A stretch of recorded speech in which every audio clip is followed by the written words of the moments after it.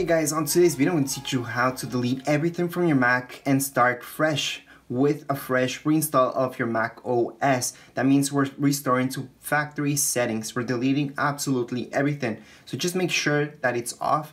This doesn't just go with MacBook Airs, MacBook Pros. It's all the same for all of them. You guys can follow the exact same directions for whichever Mac you guys have. So just make sure it's off.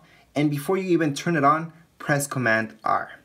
So once we press Command R, we just have to turn it on and keep holding it until you guys see a loading bar. So right now I see an Apple logo that you guys really can't see and then I will see a loading bar. So you guys can kind of see that loading bar going.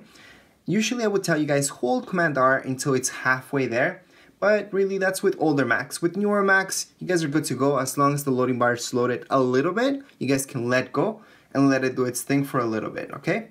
Alright, so from here, just choose your language. It can be any language, doesn't really matter because we're erasing everything. And then you guys should see this. So, we have restore, we have reinstall, and we have disk utility. So we don't want to restore right now. We want to wipe everything clean first, okay? And just make sure you guys have internet for the second thing that we're gonna do, which is reinstalling the OS. So right now, you guys will see this, all right?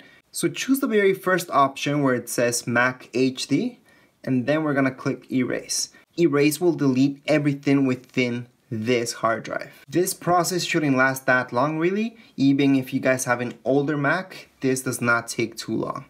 Then we're just gonna hit done.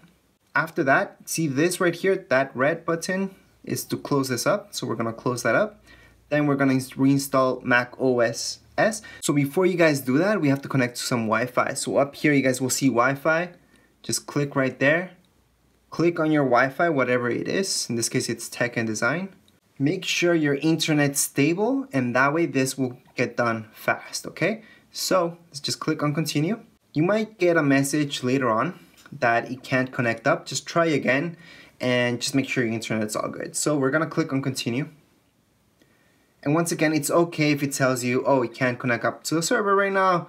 Just do it again and again. I've seen people do it three times and the third time it works. Uh, sometimes it has those glitches connecting up. Click on agree, agree. We're gonna select our Mac HD and install. As you guys could see, wiping the HD itself took only a couple minutes. However, this process might take long. It all depends on your internet speed. Alright? Anyways, even if you guys have really fast internet, don't look at this taking less than 30 minutes, okay? In most of the time, it'll take you from 30 minutes to an hour. In some cases with slow internet, could take a couple hours. So look at least 30 minutes, all right? So don't just do this before you sell your Mac if that's what you're doing right now. All right guys, so you guys can let just your Mac be and let it do its thing. Just make sure you are connected some electricity so it doesn't die. And you guys should see this Apple logo loading bar right now. Later on, you guys will see the welcome screen again so you guys can select the language and that would be our next step. Alright guys, so at this point we are all done. This is the welcome screen that I just told you about.